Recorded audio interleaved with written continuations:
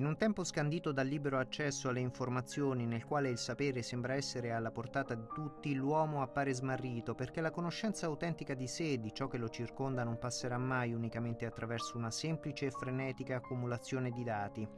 La sapienza è prima di ogni cosa frutto di umiltà e di dialogo tra uomini e saperi diversi. Alla luce di questa verità e del rapporto tra conoscenza e misericordia si è svolto il giubileo delle università e dei centri di ricerca e delle istituzioni dell'alta formazione artistica e coreutica. Gli Atenei Capitolini sono stati animati da 22 sessioni di lavoro tenute da circa 300 relatori. Il mondo universitario è tornato ad interrogarsi sulle inquietudini e i bisogni profondi dell'uomo. Liberare la società schiava di falsi ideali rappresenta il primo passo da compiere per elaborare anche in ambito accademico nuovi modelli di aggregazione sociale, come ha sottolineato sabato scorso Papa Francesco in occasione dell'udienza giubilare. Sembra che l'uomo di oggi non ami più pensare di essere liberato e salvato da un intervento di Dio. L'uomo di oggi si illude infatti della propria libertà come forza per ottenere tutto. Si vanta di questo anche, ma in realtà non è così.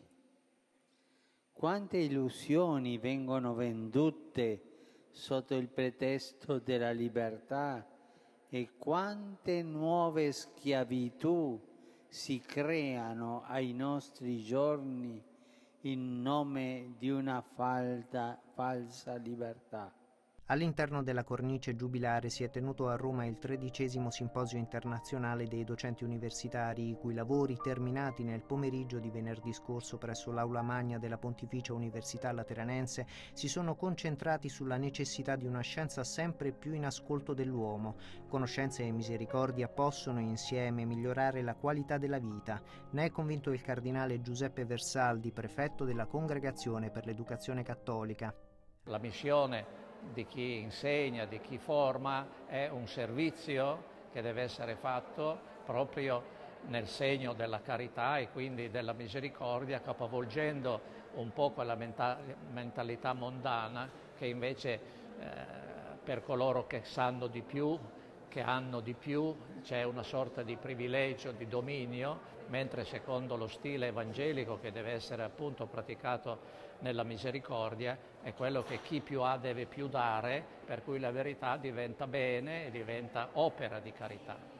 La misericordia si fa azione concreta, la carità intellettuale può diventare così il motore di una nuova civiltà, come afferma Cesare Mirabelli, presidente del comitato organizzatore del tredicesimo simposio internazionale dei docenti universitari.